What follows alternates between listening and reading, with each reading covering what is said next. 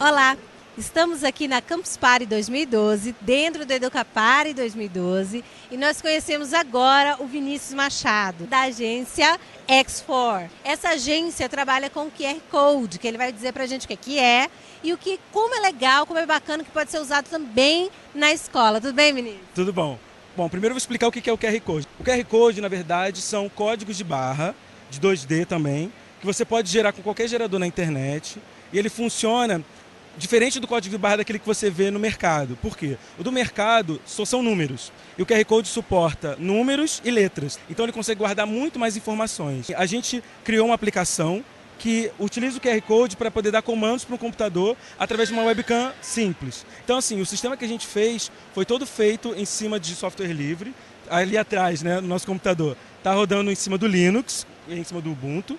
E a gente usou Python, que também é uma linguagem muito até usada em faculdade. O QR Code ele pode estar em qualquer tipo de mídia. Ele está num papel, ele pode estar, por exemplo, num tablet. Depois você vê até na minha camiseta aqui atrás também. Eu vou demonstrar aqui como, poder, por exemplo, vocês poderiam usar isso em sala de aula para tornar a educação um pouco mais rica. Porque hoje em dia, na minha opinião, as crianças não estão mais naquela coisa de quadro de giz. O mundo está ficando cada vez mais 3D, mais interativo. As crianças estão ficando cada vez mais conectadas. Tanto a televisão, internet, lan house, por tudo quanto é canto. Então, assim, a gente vê que usando uma coisa mais interativa na sala de aula, poderia tornar a educação muito mais interessante e afixar melhor os conteúdos. Né? Minha mãe é pedagoga também e sabe como é que funciona isso, tipo, fica me falando ali, tipo, formas que a gente poderia ter para melhorar né, a educação da galera. Tanto de desde criancinha pequenininha até pessoal que está já saindo, indo para o segundo grau, não importa.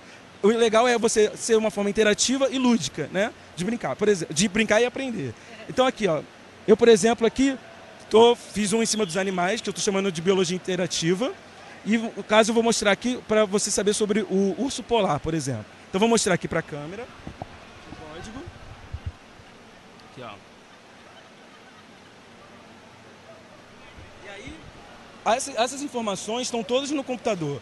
Não, não precisa de internet. Se o colégio não tiver internet, não tem problema porque ele pode estar todo armazenado dentro do computador. Pode ser um laptop, até aqueles netbooks que algumas prefeituras têm dado para os professores, pode estar lá, porque é muito leve o sistema que a gente está usando Linux, né? então assim, é de graça o sistema.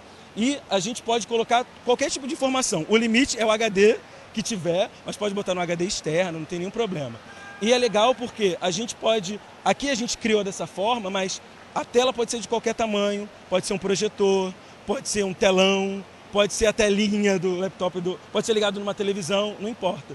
Aqui a gente está usando uma versão estática, só tem imagem e texto. Mas poderia ser um vídeo, pode ter áudio, pode usar tudo que um computador pode usar, mas de uma forma interativa. Ah, o legal disso tudo é que isso poderia estar tá num tablet, poderia estar tá no livro, poderia estar tá numa folha extra, para um exercício extra, inclusive. Sem nenhum problema. O legal do QR Code é isso, você pode imprimir em qualquer lugar, usando aquela impressora que já tem no colégio, usando a, na Lan House, por exemplo, você pode ir lá e imprimir. O aluno, por exemplo, que tiver um celular, hoje todo mundo praticamente tem celular, né? O aluno que tiver um celular que pode botar imagem, ou que pode tirar uma foto, ele pode brincar, ele pode trazer também. E tem outras aplicações além da educação, que pode servir, para, por exemplo, para você ter, cada aluno podia ter um QR Code ligado na carteirinha de estudante para entrada do colégio, né? Enfim, dá para brincar de várias formas e não precisa precisa ser caro e pode ser interativo e divertido para que todo mundo possa aprender de uma forma legal.